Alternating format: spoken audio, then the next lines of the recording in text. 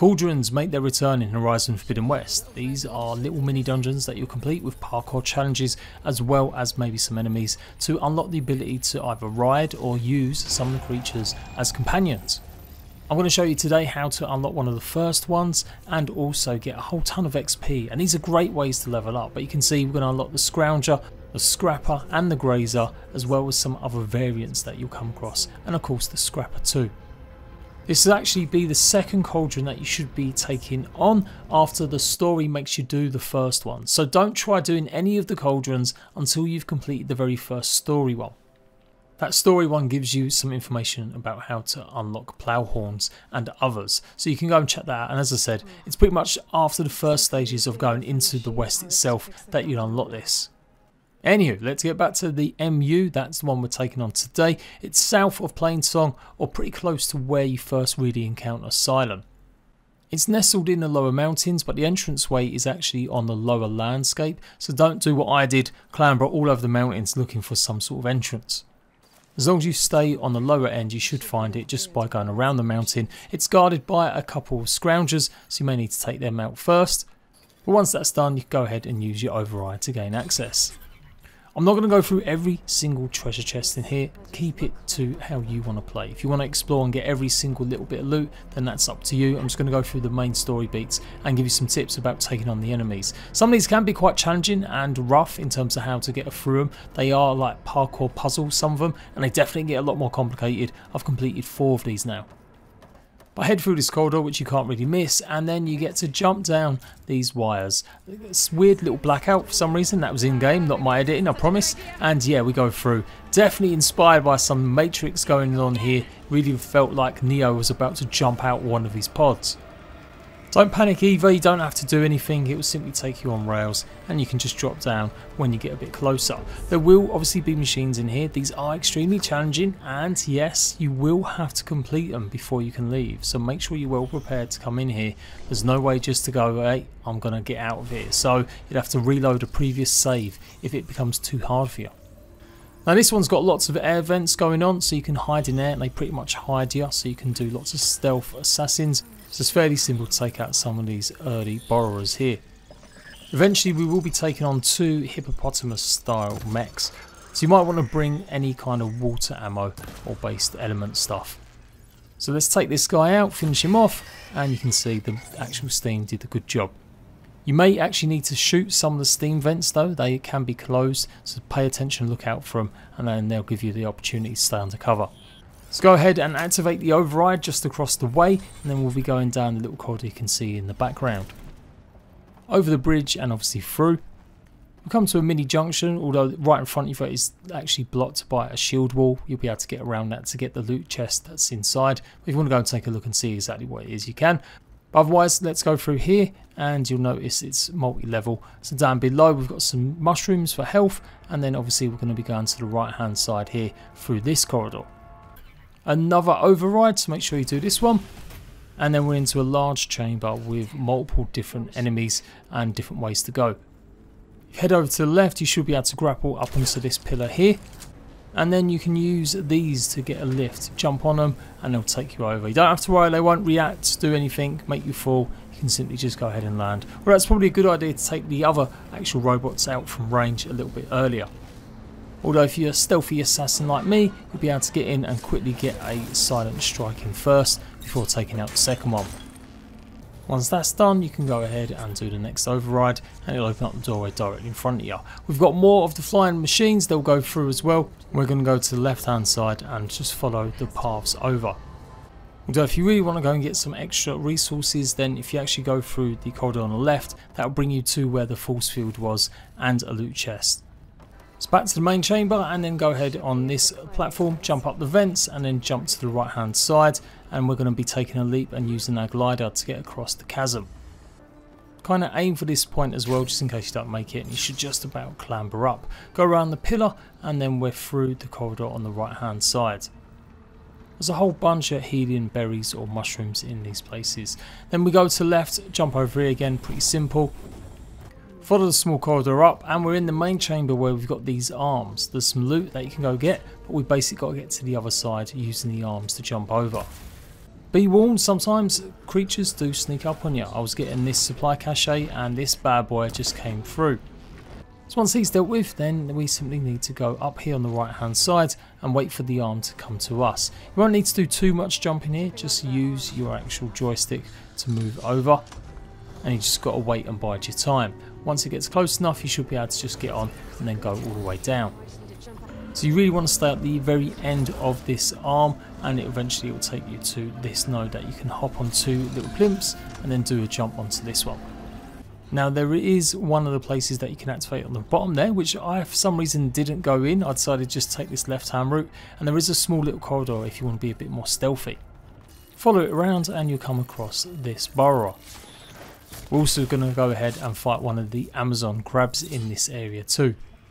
Trick with these guys is to stay higher, so use the platforms that are around you rather than do what I was doing and fighting him on the ground. And then obviously aim for his biggest parts. They're lightning based normally, so anything shock or lightning will hopefully help do a bit more damage. He's pretty tanky, so like I said, just keep really high you should be doing alright. And just keep obviously aiming for his actual piece if you want to use that as components. Because remember, if you kill him without taking it off, generally you won't be able to get any of that loot. Although, be warned, he was a bit of a meanie here and he actually ended up destroying the crate trying to attack me. Once you get him low enough you can go ahead with some melee hits and he'll be dead. So the main reason I decided to do this guide was because once you killed him in this big massive room, there's quite a few different avenues that looked like you could go, but it wasn't immediately clear what you should be doing. Well, I decided that, yep, I would be using these big machines flying through, and that's how we was going to get to the next stage. I don't think you're meant to go down there or try and get on top of any of them arms. So yeah, go to this spot, see all the Neo stuff going down below you, and turn around and go to the left. There will be an override that you need to activate. Once it's done, it'll open up a drawbridge and then you'll be able to go across. And we're effectively going to go back almost to the start. We're going to try and jump on top of one of the flying machines and it will take us all the way through.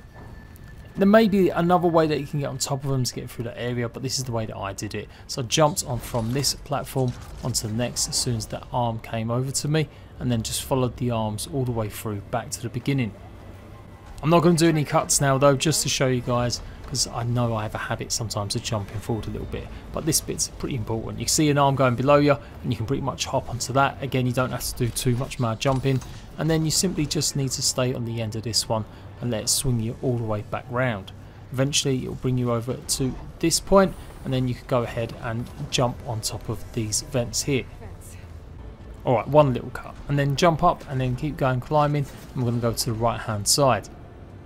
Once you're up, you'd then be able to go onto this plinth and you should be able to jump over onto one of the flying machines as it comes by.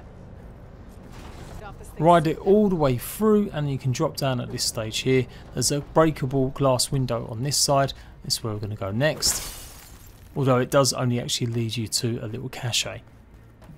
Once you've got it, come back outside and then we go over again to the left hand side to this little platform and we're going to jump onto this hand. Now these ones are a little bit different. You're not going to be running up the arm of this one. You just simply need to get onto the two little prongs here and then eventually we will make it onto that second arm and start running up. You can see definitely the Matrix influence here for sure as all the machines are doing their business. So now you should be able to go across. You might need to do a little jump there and then run up the arm and climb onto this spot here.